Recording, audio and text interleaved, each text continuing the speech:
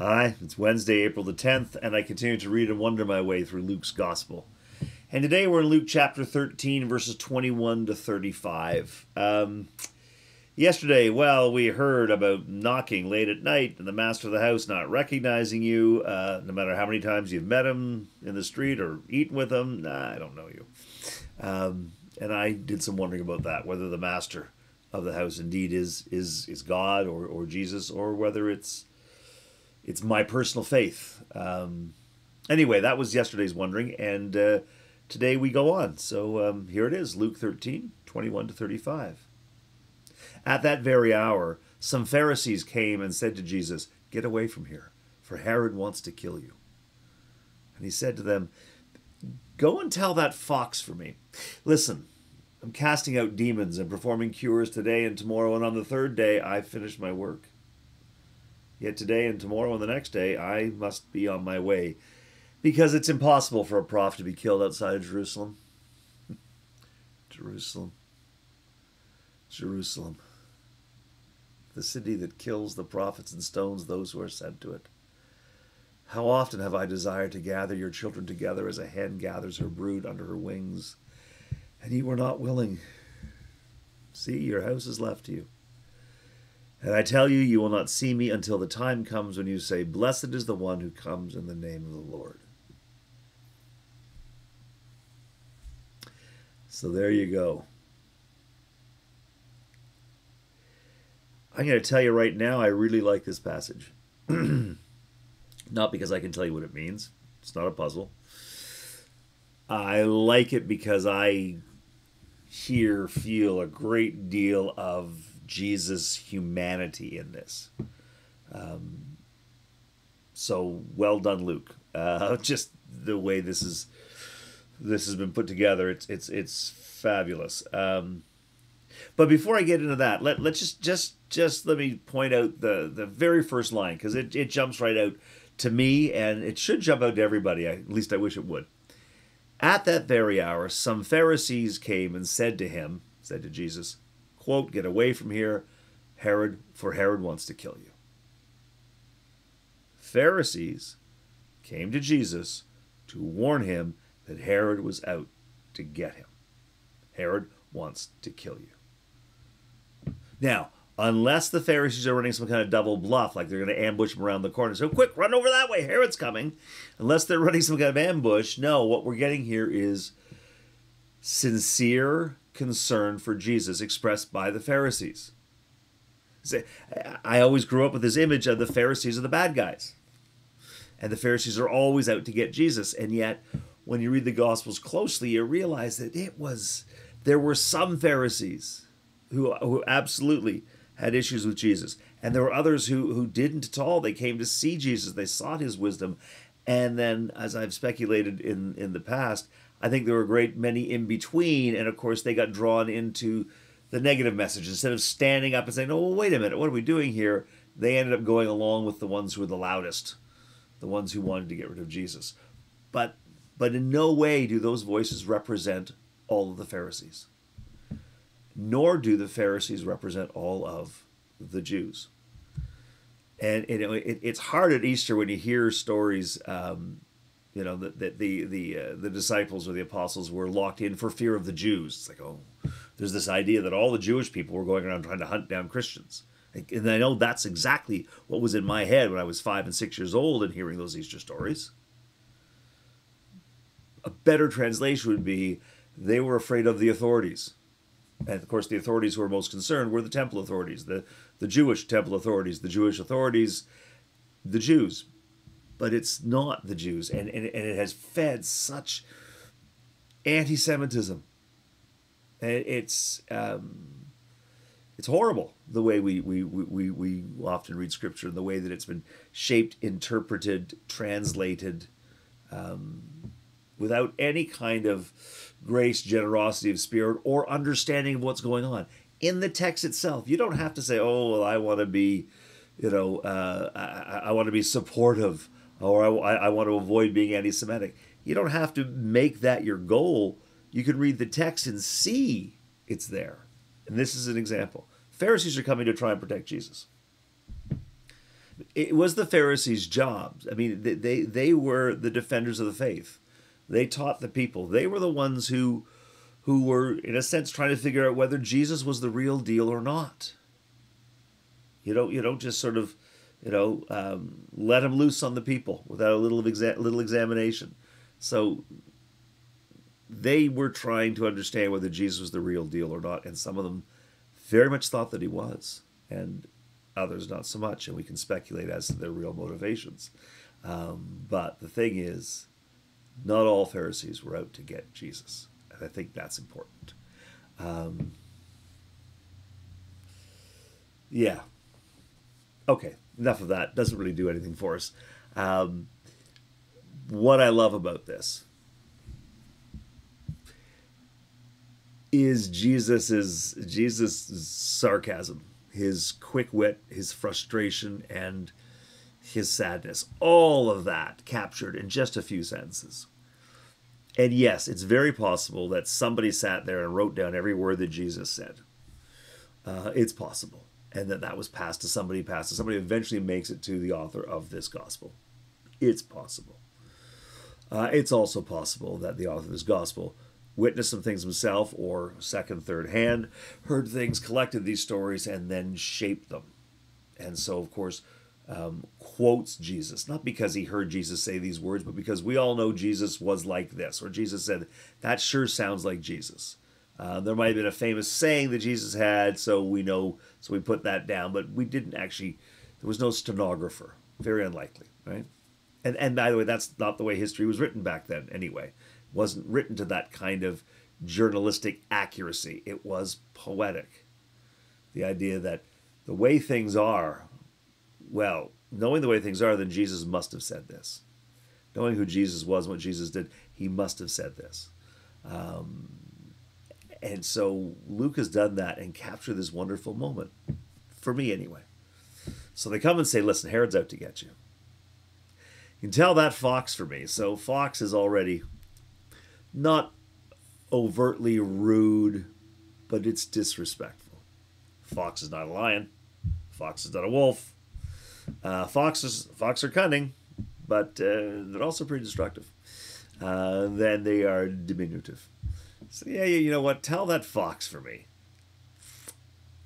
I'm casting out demons. I'm performing cures today and tomorrow, and then on the third day, I'm I'm I'm done. So tell him, here I am. You want to get me? You want me? Here I am. Here's where I'm going to be tomorrow and the next day. And then you know what? Then I'm going to go on my way because I got to get out of Jerusalem because, you know, it's impossible to kill a prophet outside of Jerusalem. There is sarcasm and humor in that. Herod wants to kill me?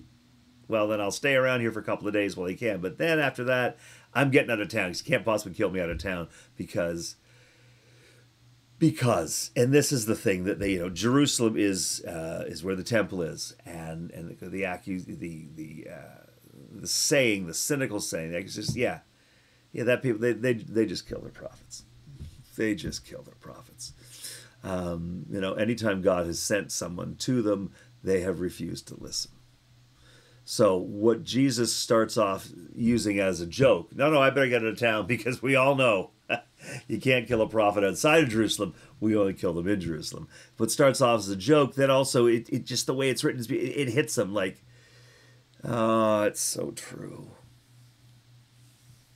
Jerusalem has had every chance to see God in the world, every opportunity, again and again and again, and yet they don't listen. They are so headstrong, full of themselves, whatever it is, they won't, and, and, and they and they just keep hurting themselves. How often I've desired to gather your children together as a hen gathers her brood under her wings, and you were not willing.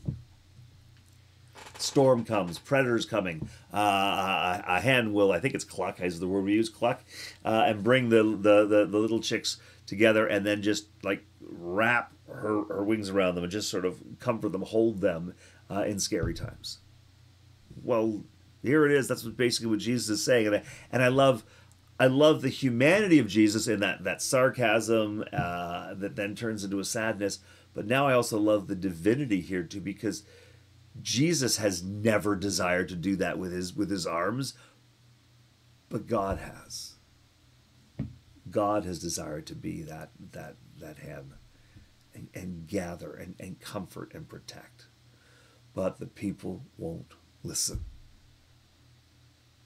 They won't listen. And I tell you, you'll not see me until the time comes when you say, Blessed is the one who comes in the name of the Lord. You're just not going to get it until something big or dramatic happens. How often do we look at people that we love making mistakes and we keep going, oh,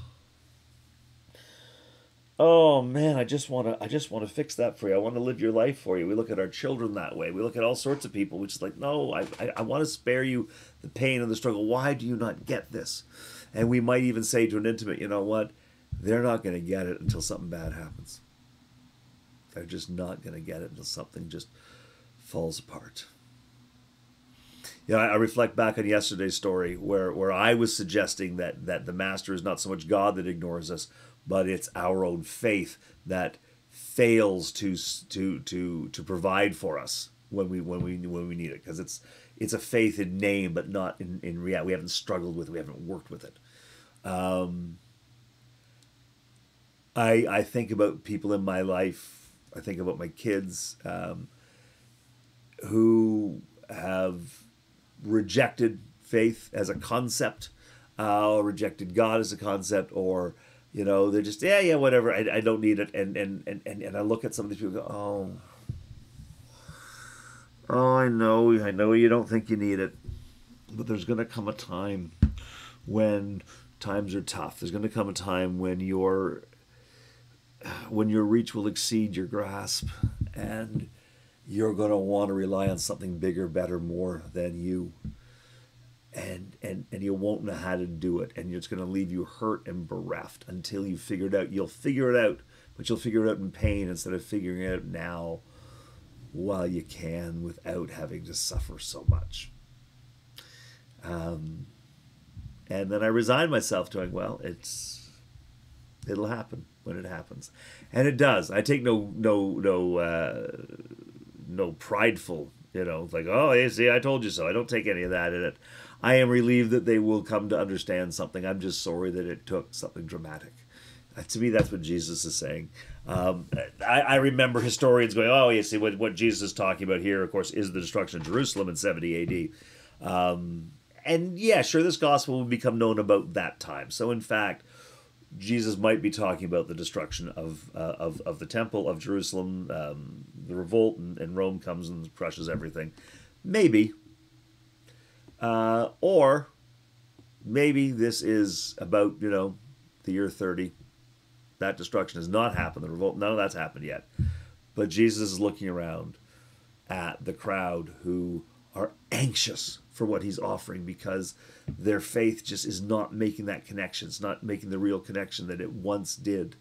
Um, and, and, and, and they are occupied by Rome, and religious officials have to compromise and play nice with Rome so they can sort of keep things balanced. Then we got to fit Herod in there, who's a king in name, but not really in terms of any kind of power. And you just look at all that and go, well, there you go. See, this is your house left to you. See what you've done. See what you've got. We don't have to wait for the destruction of the temple here. Uh, he could just be looking around in the year 30. I could just be looking around right now. Um, you know, family, friends, community, my country, the world, and just going like, do you see? You see what's left to you? The the the unfettered greed, the unleashed egos, the narcissism, the lack of compassion. Um, oh, it's just this one thing. Oh, it's just that. Oh, isn't he funny? And we laugh uh, instead of saying, no, this isn't funny. Stop that. Uh, these things grow and grow, and then suddenly we look around going, what's wrong with the world? It's ruined. This is a horrible place to be. Little by little, we've let that happen as we have let go of our own sense of integrity morality, our code of ethics as a community, as we've let those things slide away, I can hear Jesus saying to us. I can feel God saying to us. I can hear me saying it from time. I would just I just want to hold you and make it okay. I just want I just want to to to comfort you and and let you reset because you're not bad. You just let things get out of hand. These words fit for me. They fit for me uh, today. They fit for me back in the first century as well. Uh, they ring very true to me, and um, I love the way that Jesus in this passage, much better than, than a mathematical description of the Trinity might be. But here in this, I, I, I, I feel, I hear the humanity of Jesus, but I also hear and feel the divinity in Jesus. And it almost switches on that line. You know, it, it is the human in me uh, that recognizes the human in, in Jesus that's just going, you know what? You tell that fox. He's out to get me. Look, I'm going to be here today. I'm here tomorrow. And then, then you know what? Then I am going to go. I'm going to go where he can't get me because, because of course, prophets only die in Jerusalem. Oh, That's the human. And then in that moment, Jerusalem. They just haven't got it right. And I try so hard. And now I start to hear God. I do. I I am moving in their circles. I am there and they refuse to see it. The ego gets in the way, the agenda gets in the way, the the this, the that, the whatever it is. Everybody's got their own agenda. Nobody is just listening, paying attention to my will. If only they would, they would be so much happier. They would understand what it is to be at peace. If they're not willing. See? See what you've created? But then I also like the hope. I tell you, you will not see me until the time comes when you say, Blessed is the one who comes in the name of the Lord. That's a promise. Sounds very threaty, doesn't it? I'm telling you, you're not going to see me again. You won't see me again until the end. Blessed is the one who comes in the name of the Lord. For some people, yes, he won't come until the second coming, until the apocalypse. I'm done with you people now until the second coming yeah, okay, maybe. Or you're not going to see me until the time comes. When you say, Blessed is the one who comes in the name of the Lord, you're not going to see me until you start seeing me in the people around you. You're not going to see my will lived out here until you recognize Jesus is me, is me in human form, is I am in this world with you. And you keep looking up to the skies, that's not going to work. And when you see here, so I don't think this has to be about a second coming. This is blessed is the one who comes in the name of the Lord. I come to you in the name of the Lord. You come to me in the name of the Lord. We are bound by our faith and we recognize in each other that commitment, that love. And that's when we start to see God in the world. But whether you interpret it as an apocalyptic vision or, or the way I've just described it now, the thing is, the promise, though, is still that God hasn't given up. You will see me. You'll not see me until means you are going to see me. Haven't given up. Again, this to me is comfort and promise, although we often couch it in words that sound threatening. um, yeah. I'm going to stop there. I'm going to leave it with you. I, I, there's other little things that are popping up in my head, but um, but I think I'm just going to leave it with you and see what you make of it. So for now, let me offer a prayer. Loving God, thank you for the words of Jesus, especially when they are conveyed with such insight and creativity, such wisdom and such love. Thank you for the ways that they help us to see you in the world, recognize ourselves in relationship with you. God, may today's wondering bring us closer to you. And may we continue to grow in faith. We pray in the name of your Son, Jesus Christ, through the Holy Spirit. Amen. That's enough for me today. But I do look forward to seeing you tomorrow, and we'll see what happens next. We're starting a new chapter tomorrow, so you never know. Everything's new. Um, until I get to see you, God bless you. Please know that God sees you and knows you and loves you exactly as you are, because you are. And God's love comes in and meets you where you are, but doesn't stop there. It also moves through you into the world in amazing ways. You share God's love even, even when you don't know it, and even more so when you do know it. So God bless you. Know that you're blessed. Be a blessing. And uh, I'll see you tomorrow. God bless.